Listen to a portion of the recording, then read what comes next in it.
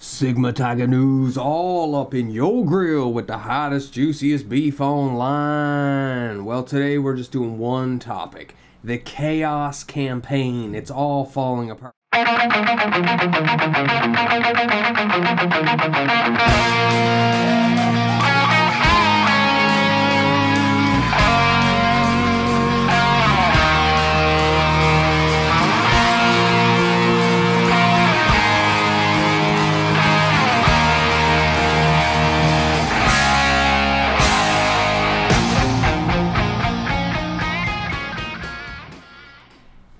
Boom, diving right in. Let's get all up in it.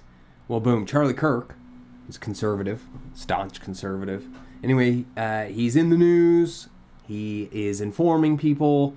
He is digging deep what's going on. He had a weird lead on a story that people should look into. He got a call from a source close to Las Vegas Metro, the police department. The official story was that Joe Biden's trip was cut short last week due to COVID. That's the official narrative. However, according to this source, U.S. Secret Service informed Las Vegas Metro that there was an emergency situation involving Joe Biden and to close necessary streets that POTUS could be transported immediately to University Medical, which they began to do in earnest. Then, mysteriously, there was a stand down order, and the U.S. Secret Service informed local Vegas Police Department that they were going to medevac POTUS to Johns Hopkins which they presumed meant fly him back east as soon as possible. Apparently, the rumor mill in the police department was that Joe Biden was dying or possibly already dead. I didn't think too much about this lead, seemed too wild to be true, but given that Joe Biden has been out of public sight for days and dropped out of the race via X post, excuse me, what? Uh, and brother James indicated health was a fact. What? Health was a factor. I'm beginning to grow more curious if COVID or something else has been more serious than reported. If anyone within the Las Vegas metro has information, please email freedom at charliekirk.com. I want to hear if there is more to the official story than what they're telling us. Of course, yeah. Let us know, Charlie. Let's see. Does he have an update? Well, Update I've received multiple emails like this one confirming many elements of the story. Many have confirmed that a call went out to block streets to get Biden to University Medical Trauma Center ASAP. And then the plan abruptly changed and they got him out on Air Force One very quickly. I've not confirmed the IDs of these people, but there are an overwhelming number of stories corroborating essentially the same account that I felt comfortable sharing. I have people diving deeper into this now. So here's the email. Charlie, your info is solid. I retired from the uh, Las Vegas Metro in. My source texted me this just now. We were making plans to go to UMC Trauma first, called in the box squads to come help shut down the route. Then it changed to taking him to the airport. He was on the plan fast and took off faster than I ever seen Air Force One leave the airport. Interesting. Well, Laura Loomer, another journalist, uh, there's an FFA flight restriction that just went up in Wilmington, Delaware, where Joe Biden lives. The flight restriction is for VIP movement. This coincides with presidential movement. Joe Biden's health is declining rapidly, as I reported today. He is now in terminal stage of his illness. Today, Joe Biden's chief of staff held an emergency meeting with all White House staff. And there it is, uh, the report coming out of the air, the FAA, the American Flight Association, whatever it's called. Uh, yeah, okay. what else? Joe Biden is now in the terminal stage of his illness. Okay, what? This is what my medical source in DC has confirmed to me. I told you all weeks ago he had a medical emergency on Air Force One and that you'd be seeing resignations. Interesting, so she had the scoop. Everything I said is true. Most people don't know Air Force One has a full medical emergency triage center on the plane. There's even an operating room on Air Force One. Just because people don't know these things doesn't mean my reporting was incorrect. It just means I'm ahead of the curve. And congratulations, Laura, for that uh, pat on the back. What else? Top Democrats threatened to invoke the 25th Amendment to forcibly remove Biden from office unless he quit the race. Have alternative candidate to Kamala Harris. Hmm. Okay. Well, uh, that would have been one reason to motivate him. So, eight weeks ago, leading into the debate, Everyone was like vigor, active, intelligent, engaging. Fast forward to the day after the debate, and everyone's like, oh, man, there's a huge hole in that bag. Where did the cat go? Because he's out. And yeah, everyone was like, okay, this guy here is like totally cognitively declined over his presidency. Who's running the country? Well, they went up to him and said, listen, Joe, it's not looking good. Uh, quit. And he's like, I'm not quitting. I'm not quitting. Even his staff was like, he's not quitting. He's not quitting. And then apparently Pelosi, Clinton, Obama, all these like big heads, old heads got involved and were like, Joe, if you don't, we're going to say you're crazy and you've lost your mind. Would you want that in the public? Is that how you want your legacy to be? Absolutely not. So he steps down. Biden drops out of presidential race. The president endorses Kamala Harris almost immediately. And be careful pronouncing her name. It's not Kamala, it's Kamala. Or am I pronouncing it wrong? Because apparently it's racist to do that. Okay? Whatever. Kamala, Kamala, who cares? It's not racist. She has an interesting name that's different than Heather or Jennifer or Stephanie, what Americans are used to. Uh, President Joe Biden announced Sunday he's dropping out of the presidential race. Minutes later, he endorsed Vice President Kamala Harris to be his successor. And why? Why so fast? Well, after he resigned, he canceled nine trips, extends his Delaware stay. Hmm. now, he had done this via X. Okay? The statement was put out via X, Twitter. No one knew this was even going on. No one in his staff had a clue. We covered this last uh, Monday. Biden, uh, or behind the curtain, the chaos campaign. Here we go. So, one candidate was shot in the ear, an assassin's bullet putting him inches from death. The other, quarantined with COVID, then quit his campaign, reluctantly and abruptly. That was just eight days of the wildest and weirdest presidential campaign of our lifetime. Why it matters. America is tossed into tumult unseen since the 1960s. State of play. Republicans want President Biden to resign now and for Vice President Kamala Harris to be held complicit for concealing his condition. Yeah, they've pushed forward um, impeachment for Kamala Harris for not uh, doing her du- duty as vice president and informing the country that, hey, your leader, your chief, is insane. He's lost his mind. Uh, he after sundown, there's a thing called sundowning. He goes crazy, walks around butt naked in the White House apparently. Check it out. Many Democrats want to simply and swiftly coronate Harris, pair her with a swing state moderate like Pennsylvania Governor Josh Shapiro, a Jew or someone of Jewish religion. Don't want to say anything. Uh, uh, a Semite. Is that what you'd say? Senator Mark Kelly and make age and abortion two prominent topics of new 2024 campaign. Yeah, abortion is the ticket. That's the only thing they have to hold on to. And Kamala has like the worst record. Her borders are uh, mega fail. What else has she done? She went down to South America and was like, "Don't come, just don't come." And then guess what? 20 million people showed up at the door, and now we're paying for them. Democrats have four weeks to pick a new ticket, completely reboot the campaign against a former president riding post convention momentum and an assassination attempt. Everyone thinks he's a mega hero and a superstar. Scoop Biden doubted Harris's election chances. So here's the deal um, why didn't he drop out sooner? Why didn't he endorse. Uh,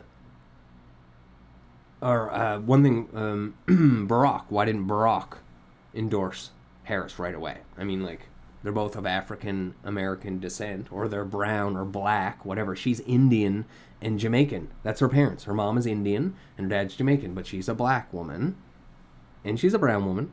She's both. She's whatever she wants to be because that's what you get to do if you have mixed race parents. So, like, you know, they used to call it mulatto. I think that's inappropriate now. Uh, but it's basically a white parent and a black parent. And guess what?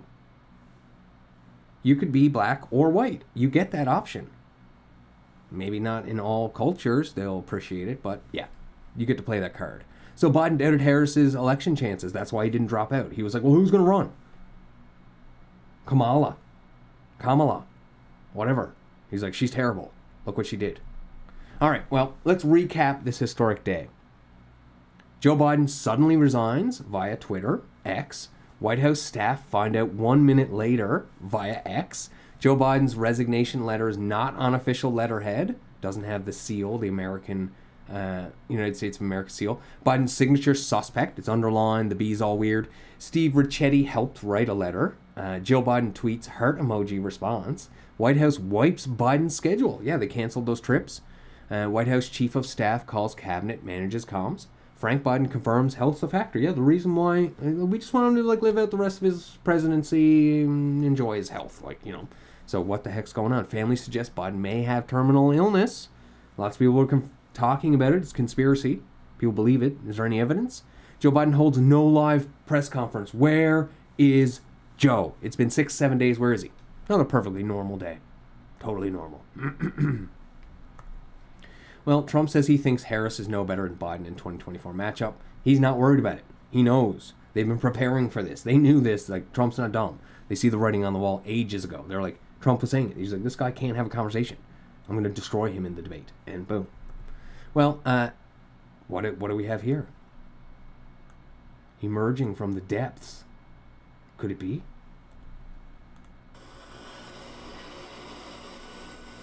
Quite the salute there.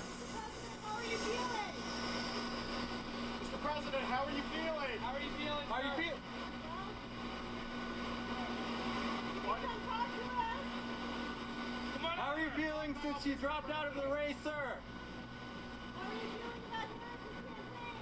Can Harris beat Trump?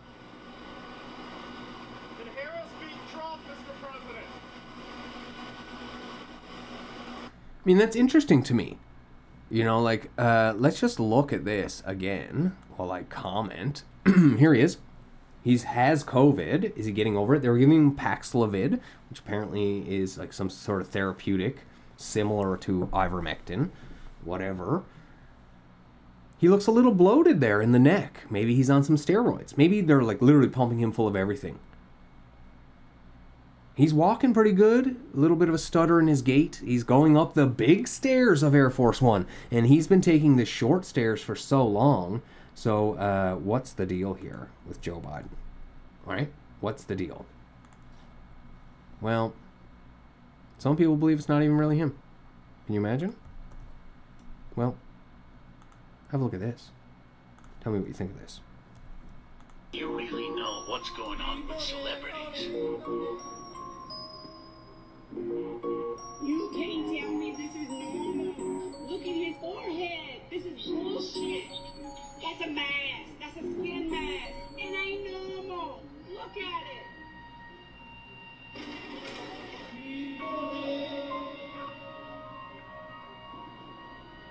You can't believe anything you see these days. These glasses aren't even real. Neither is my face. All this stuff was 3D tracked on using these dots that I drew on with this marker. Actually, the marker isn't real either. Neither is the background. Or my face. Have a good night. These guys are central casting. There's nobody in Hollywood that looks like these people. These are hyper-realistic face masks. They're custom made in Japan using 3D facial scans and 3D. I mean, I'm not saying, but I'm suggesting for a fact. Definitely. Definitely a possibility. All right?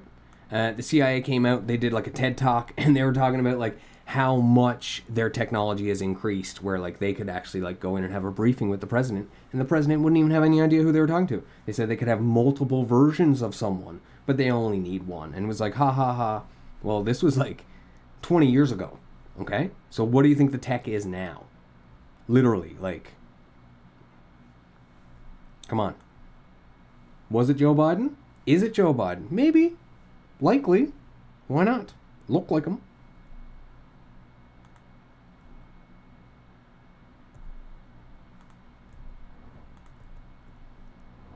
What's going on here?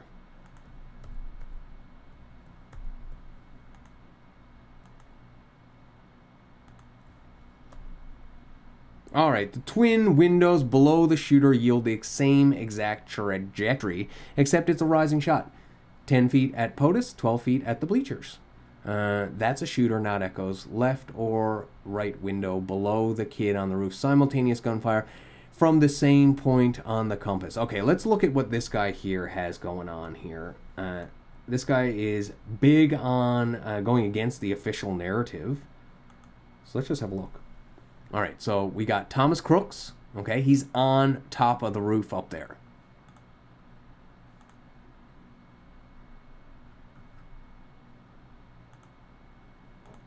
Come on.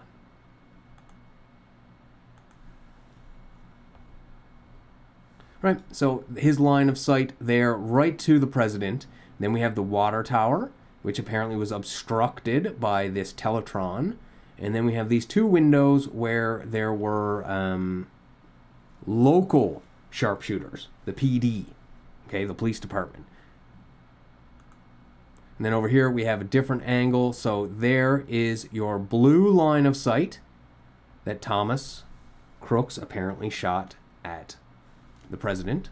And then we have the yellow line of sight, which would be local police department. So he's suggesting perhaps maybe this is a conspiracy and uh, the sniper shots were actually taken from below where Thomas Crooks is.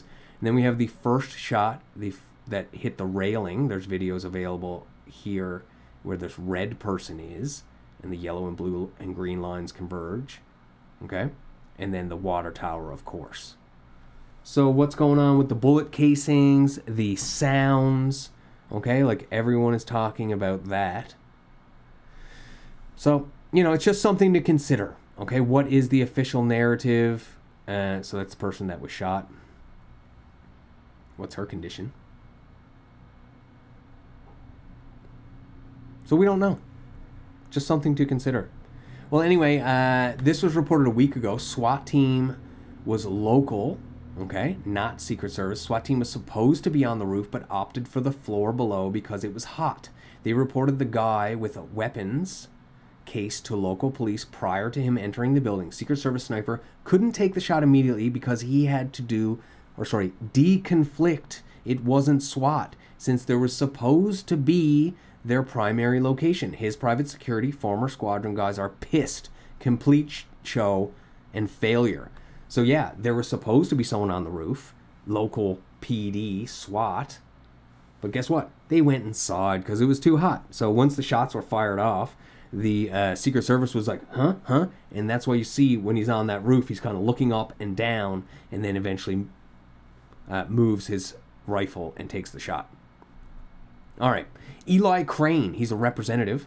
Uh, I'm on the roof where Trump shooter died. Questions for the Secret Service. Yeah, so what does he say? Uh, he's checking out the perch where Thomas Matthew Crooks fired at Donald Trump, and he's questioning how the shooter slipped past the Secret Service. The Republican congressman from Arizona is in Butler, Pennsylvania, investigating the scene of the Trump rally shooting. And he's sharing video. All right, cool. Let's check it out. Let's see what he's got to say. Alright guys, I'm up here on the building where the uh, supposed sniper took his shot. It's not that steep at all. We just had a 70 year old man back here climb up on the uh, on the roof easily. See that water tower behind me? Had Secret Service or anybody had sniper teams up there, this guy wouldn't have made it um, five feet up this roof. Um, he would have been taken out. Behind me, you see the windows that uh, Secret Service was supposedly in the second floor of this building behind. Makes you wonder why they uh, weren't able to quickly dispatch the individual. Um, and then behind me, back over here where those red roofs are, that's where the stage was set up. That's where the president was giving his speech from. A lot of questions here in Butler, um, but we look forward to doing oversight. Yeah, so he interviewed uh, the missus, and it was insane. Well, here's Pat Fallon of Texas. Let's hear what he had to say with her. You know who the shooter knew? The shooter has visited the site two more times than you have, and he had a drone, and he picked the AGR building. So you said, do you remember in an ABC interview you did that you didn't have people on the roof of the AGR building because you were worried about safety because of the slope? I recall that statement. Does the Secret Service have written policy you can share with us about slope roofs? No.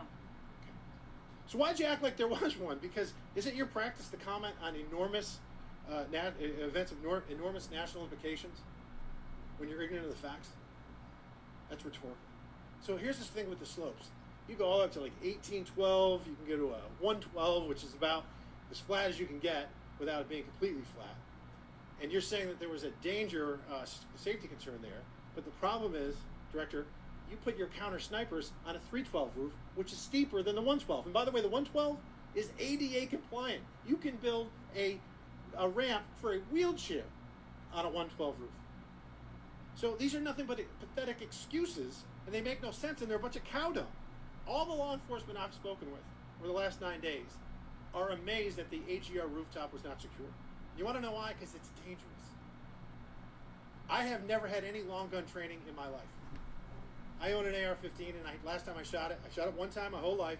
Was six years ago. That is until Saturday, where we recreated the events in Savoy, Texas. We recreated what happened to Butler. I was lying prone on a sloped roof at 130 yards at 6:30 at night, and I knew that he had a scope. I didn't know what kind, red dot or magnified. So I shot eight rounds from both. You know what the result was? 15 out of 16 kill shots, and the one I missed would have hit the president's ear. That's a 94% success rate. And that shooter was a better shot than me. It is a miracle President Trump wasn't killed. Corey Comperatore's life is over because that damn shooter made it on the roof. And it wasn't the roof that was dangerous, it was the nut job on top of the roof. You know what else is dangerous? I believe your horrifying ineptitude and your lack of skilled leadership is a disgrace. Your obfuscating today is shameful. And you should be fired immediately and go back to Garden Doritos. Mr. Chairman, I yield back. There it is. Go back to guarding Doritos because she used to work for PepsiCo. There you go. Whatever. So anyway, uh, she sucks super hard. I didn't believe until right now a specific stand down order was given by Secret Service to leave the assassin alone. But now that we know Cheatle refused to record or archive the comms, huh? Or potentially even deleted them, I don't think there's any conclusion to draw. Well, they lost all the comms for the J6. Let's hear what she has to say about this. Uh, does the Secret Service routinely record communications between and amongst detail? Radio communications? Any communication? Email communications are uh, captured as well as uh, text messages, and then depending on the detail, uh, radio communications are recorded. Does the Secret Service have reporter communications from the July 13th event? We do not have radio communications from that day. Uh, does What? Like, what? Isn't that like the most important thing you can have for that day? Is what they were talking about?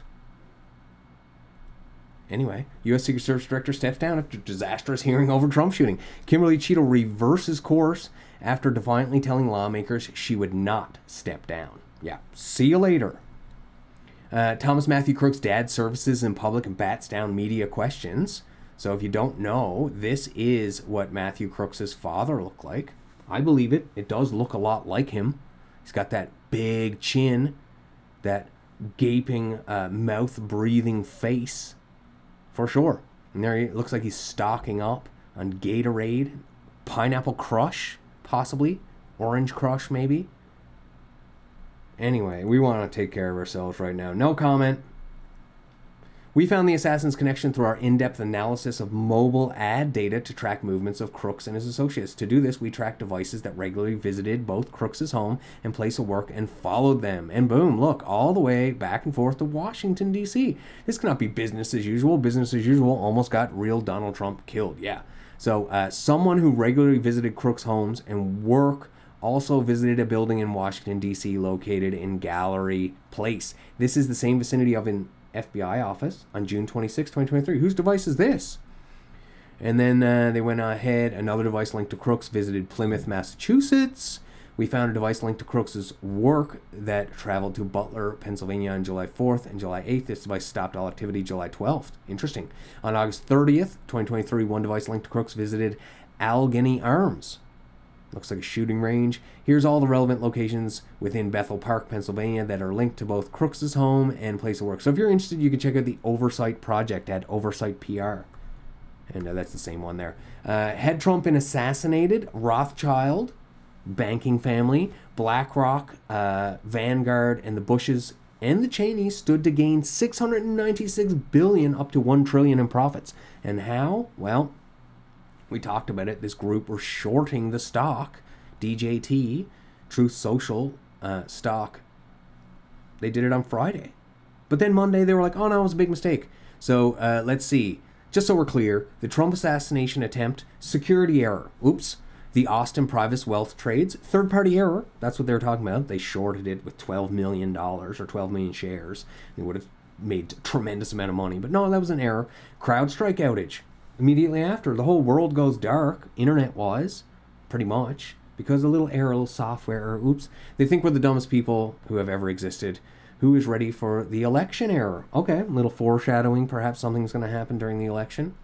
Uh, but don't worry, U.S. taxpayers. Just to let you know that while you struggle to pay your rent, educate your kids, and save something for a rainy day, the Pentagon accidentally paid Zelensky an extra 6.2 billion of your money. Oops, just a little accounting error. Following up from um, some announcements earlier this year, during the department's regular oversight of our execution of Presidential Drawdown Authority for Ukraine, we discovered inconsistencies in equipment valuation for Ukraine. In a significant number of cases, services used replacement costs rather than net book value, thereby overestimating the value of the equipment drawn down from U.S. stocks and provided to Ukraine. All right, they didn't send him an extra 6.2. They just said, oh, it's only worth this much, when actually it was worth way more. And meanwhile, Hama- Hamas has taken over the U.S. Capitol. What? Oh my gosh. Have a look.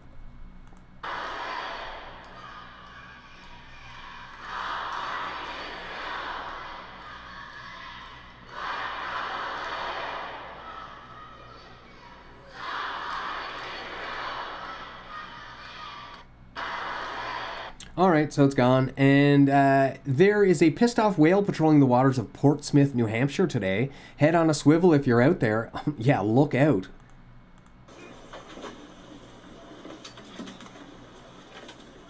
Man overboard. Let's get out of here, he says.